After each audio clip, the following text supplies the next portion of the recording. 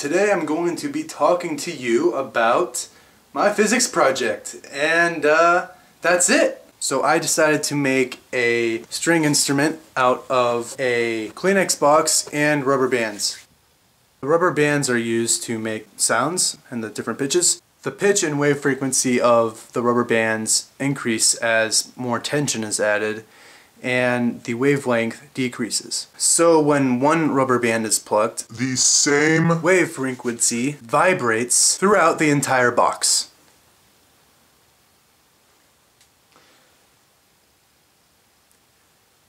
And these are forced vibrations. I looked it up. And these forced vibrations create resonance throughout the instrument. The lowest frequency made by the string is called the fundamental frequency. This can also be called the first harmonic. And here's a second harmonic. As you can tell, this rubber band over here has a higher pitch and a higher frequency, but a smaller wavelength.